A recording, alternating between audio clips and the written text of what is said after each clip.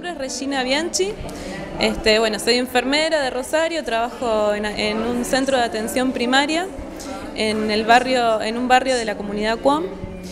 Y este taller precisamente lo elegí, eh, el taller de, mujeres y adicciones, precisamente porque estamos atravesados en Rosario por, esta problemática, está absolutamente instalado eh, en todos los barrios. Mi nombre es Fátima, somos de, vivo en Tucumán, es la primera vez que vengo a este encuentro internacional de la mujer y vengo por la problemática de las adicciones porque yo tengo tres, seis hijos que tienen problemas con la droga. Mi nombre es Celeste Leprati, vengo desde Rosario, soy entrerriana, pero ya hace un poco más de 10 años que vivo en Rosario. Lo que me moviliza tiene que ver con eh, el asesinato de mi hermano, ya hace 14, casi 14 años atrás. Eh, fue asesinado por la policía de Reutemann en Rosario, en su lugar de trabajo, una escuela, mientras él cocinaba para, para los niños del lugar. Estoy hablando de Pocho Leprati. Mercedes Zamorano, de Tucumán. Soy del barrio Juan Pablo II y bueno, he venido acá para eh, participar en los talleres por lo que me ha pasado con mi hijo. He venido a la charla, me ha hecho muy bien venir sabe que van haciendo esta esperanza. Mi hijo se llamaba eh, Horacio Gabriel Zamorano y era, tenía 18 años, consumidor, consumía droga de toda clase. Y por detrás de la droga se ha ido, se ha ahorcado a cuatro cuadras de mi casa, a cuatro casas de mi casa. Y bueno, mi hijo ha sufrido mucho con, con el problema de la droga. Se sentía mal porque él decía que él no iba a poder ser normal, que él no iba a poder dejar la droga. Y aparte la tenemos la droga ahí en el barrio. Ahí la venden como vender un caramelo.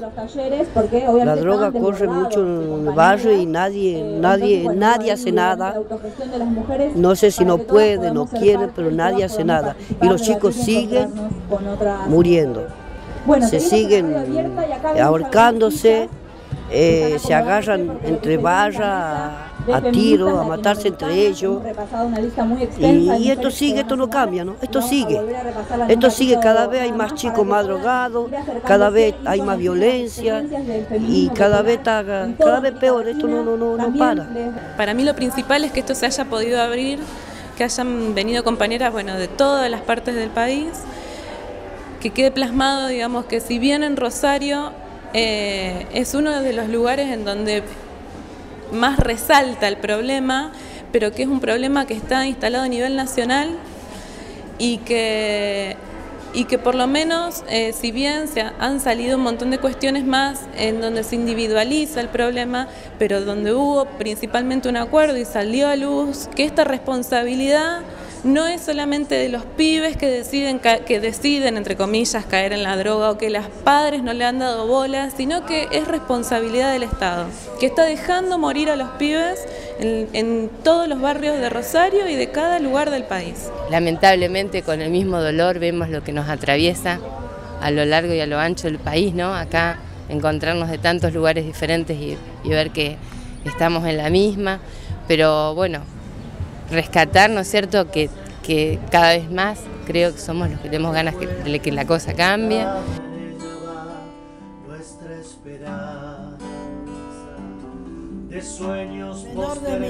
El mayor de mis hijos tiene 29 años y el menor eh, tiene 18 años, que hará tres semanas que ha intentado suicidarse dos veces. La primera vez este, ha sido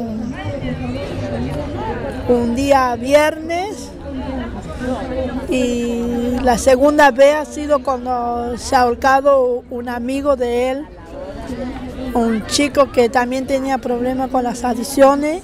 Me parece que la mayoría de los centros de salud y la mayoría de, las instituciones de salud estamos absolutamente desbordados, eh, sin recursos para, para abordar esta problemática porque no hay como hoy en el taller hablábamos, está muy linda instalado, digamos, la nueva ley de salud mental, pero es solo la ley, después no hay forma de aplicarlo, porque los profesionales, digamos, no estamos preparados con formación académica, digamos, para, para poder eh, llevar adelante esta ley. ¿Tienen lugar a dónde dirigirse cuando tienen algún tipo de crisis? El hospital Ovar.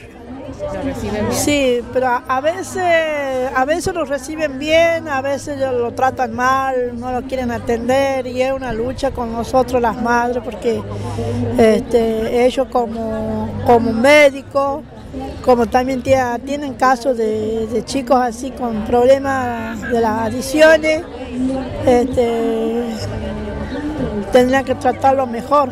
Las instituciones no tienen ningún tipo de herramientas, no hay instituciones que, que internen a los, o sea que sí, están los, los hospitales que pueden internar temporariamente a los chicos, pero después los pibes cuando salen no tienen un lugar en donde, en donde instalarse, digamos. No tienen un espacio en donde poder insertarse socialmente, vuelven al mismo lugar a donde estaban y bueno, vuelven a caer. De los barrios muchas veces este, no querían atender. No, no ponían empeño, le daba lo mismo si atendían, si no lo atendían. No era un lugar seguro. Ahora, pasaban a la Avellaneda, como ser mi hijo, se cortaba el brazo. Me lo llevaban para que me lo suturen y lo volvían a traer al- al Le ponían un- suero y un- y calmante para que pueblo pueda dormir y nada más. Hasta que le han dado una pastilla para que él deje de consumir, pero no, no ha soportado, no ha soportado de dejar Una la, de drogarse.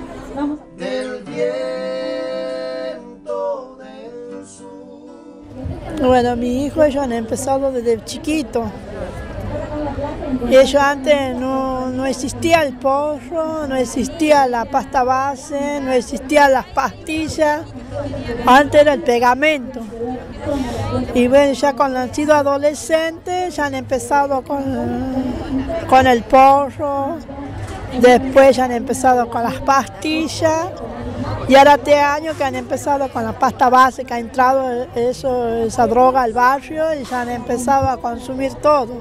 Yo he venido aquí para conocer a otras madres de otras provincias, para ver este cómo puedo aprender más de ella, para tratar así yo este, aprender a, a contenerlo a mis hijos.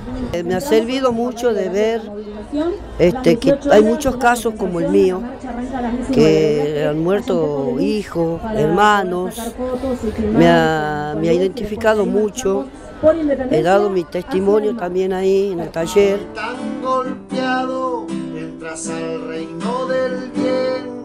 El dolor no me va a pasar.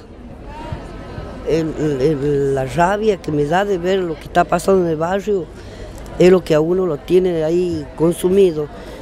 No solo matan a los chicos, destruyen la familia completa. Tenemos, eh, eh, en el año se van como 10 chicos, ¿ah? y todo por el problema de la droga. No, no, na- nadie hace nada, no tenemos protección de nada ni de nadie. Ahí, como te digo, es, es un caramelo que le venden a los chicos. Después los chicos son marginados, roban, eh, ah, claro, son de la villa, no sirven, pero los que no sirven son los que entran a vender, porque aquí no son los que venden, porque son unos usados los que venden, son de las orillas. Esto viene de más arriba, ah, y es eso lo que tiene que cortarse. que el Estado, bueno, eh, garantice lo que no viene garantizando, un montón de derechos a nuestros chicos, este, a nuestras niñas, niños, y que haya un mayor presupuesto para políticas para la vida, ¿no? que se apliquen directamente para ellos, que son los destinatarios, este, y, y no, como viene sucediendo, este, que el Estado aparece en la vida de nuestros este, jóvenes, de nuestros niños, pero de manera represiva en los barrios fundamentalmente.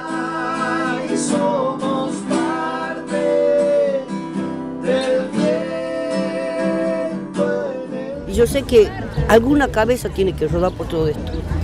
porque no puede ser ya. No puede ser que estén matándose los chicos.